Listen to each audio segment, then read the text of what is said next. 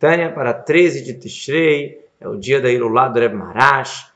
A carta 21 diz o Mazaken, depois que eu estou cumprimentando, como deve se cumprimentar, as pessoas que amam o nome de Deus e tudo isso, as pessoas que querem dar da cá para a terra de Israel, a terra santa, cada ano um valor fixo. Sobre eles eu vou falar minhas palavras para agilizar os que já são apressados, fortificar as mãos que estão um pouquinho fracas em relação a dar o dinheiro da terra de Israel. Cada semana, pelo menos cada mês, já dá o valor. Vamos supor se for estipulado para dar um valor de 10 mil de 12 mil durante o ano, então que cada mês já dê o mil, é quando cada e dá cada vez logo, não esperar somar tudo. A gente sabe que existe a vantagem da agilidade das, na pessoa querer cumprir o mitzvot. Logo, isso é uma coisa muito boa, a pessoa deve se antecipar para cumprir o mitzvot.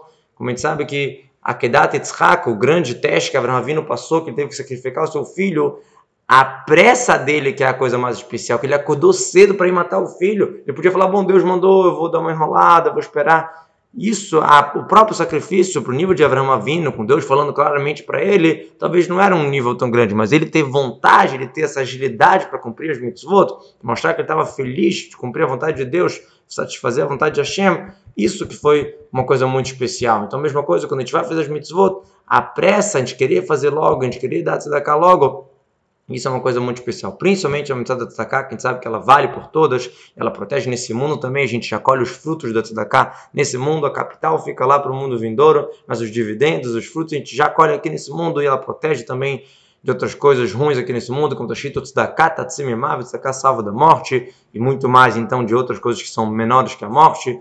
Então, quanto mais a gente aproximar nesse mundo da loga tzedakah, é melhor. A pessoa é julgada todo dia. Então, é, acabamos de passar de um Kippur, mas existe também o julgamento de todo dia, então não vamos esperar somar para dar tzedakah e sim logo já dar o valor. No Tana de amanhã vai completar essa ideia de uma maneira interessante.